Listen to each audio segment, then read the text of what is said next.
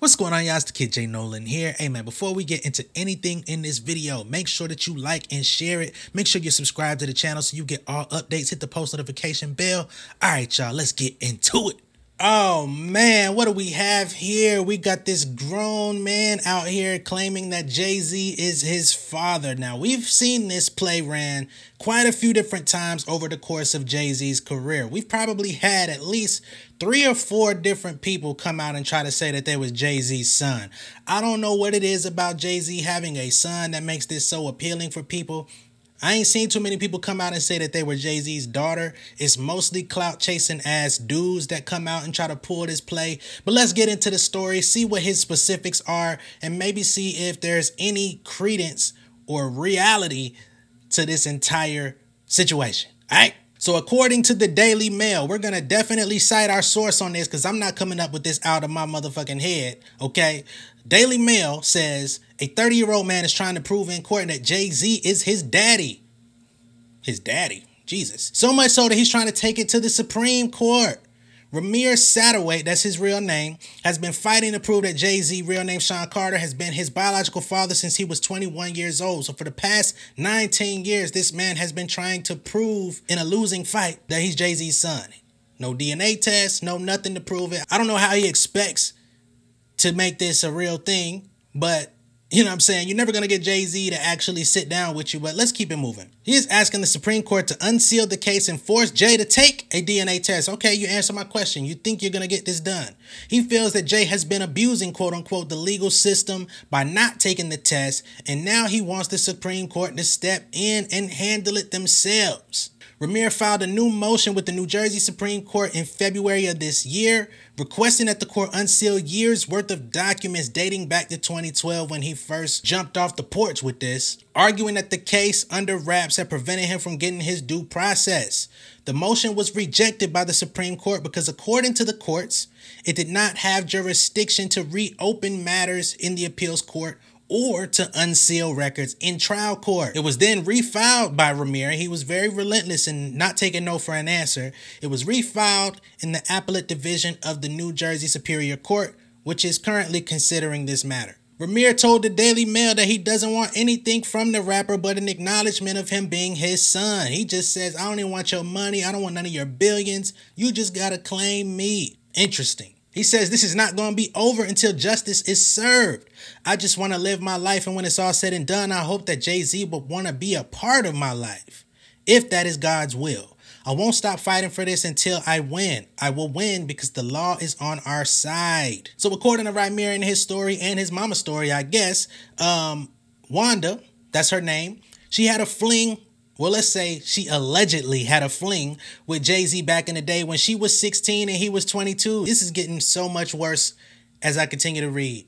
So now we're talking about a statutory situation where a grown man over the age of 21 was dealing with a young woman at the age of 16. I understand in many states the age of consent is 16, but this is now becoming disgusting. By the time Rymir was born, Wanda and Jay had already broken up. How were they broken up if they had a fling? See, a fling is a one-time thing or just something that y'all just swing. You feel me? You can't break up from a relationship if you wasn't in it, but let's keep it going. By then, Jay and Wanda allegedly had broken up by then and decided to put another man's name on the birth certificate, even though she knew he wasn't the father. If this is true, that's where you effed up. For all you ladies out there, y'all be playing these types of games. I'm not saying Jay Z is really this man's father. I don't have enough evidence, I don't have enough facts to prove that, but there are so many women that play these games with men. You know what I'm saying? They give another man the credit for being a father, even though you know who the real one is. Y'all go out here, y'all run off with your children sometimes, not even giving the man an opportunity to step up to the plate due to your own selfish reasoning or whatever you feel. I know somebody personally that did that and they regretted it. They actually allowed the man to come back into the child's life and have been happy ever since.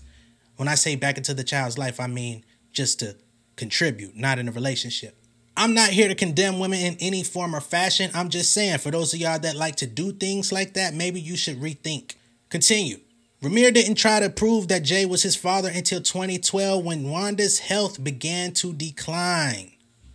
Mm, so basically, you don't you didn't want anything from Jay, but your mama did. You know what I mean? I'm not gonna make no jokes about it because her health was on the on the outs, but That's what you expected. You thought that he was to come in and maybe, you know, offer some relief for your moms. That makes a little bit of sense. Now, there is a photo comparing and contrasting the two. Uh, this young man does have some very distinguishable qualities that would remind you of a Jay Z. Now, if you saw this young man out on the street, I don't think you would ever confuse him for Jay or for Jay's son. But when you look at them side by side, uh, you see the eyebrows, you see the eyes, you see the nose, even the lips. Pause. The mouth, I'll say. There definitely are some uncanny resemblances here. I don't know who this young man is. Um, we've had, like I said, we've had numerous people come out. We've had rappers come out and try to claim Jay Z was their father. We had people falsely representing a young man that was very dope at rapping. They tried to say Jay Z was his dad because he had a very similar voice.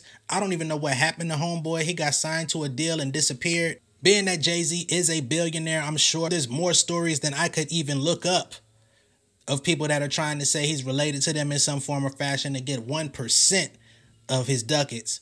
So I don't know what to say about this. At this current moment, like I said, I don't have enough information.